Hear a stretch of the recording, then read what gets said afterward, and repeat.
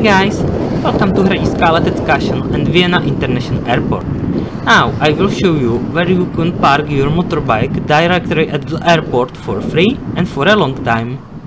Now I'm driving off road number 9 and on the right I have an exit from both direction of the A4 motorway.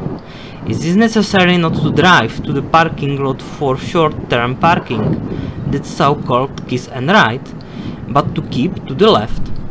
However, at the next crossroads it is necessary to turn right. Now continue straight and there is a motorcycling parking lot on the right. We are located directly below Terminal 1. To enter the departure hall, enter any of the buildings and follow the signals. That's all. Have a nice flight, don't forget to leave the subscribes and see you soon.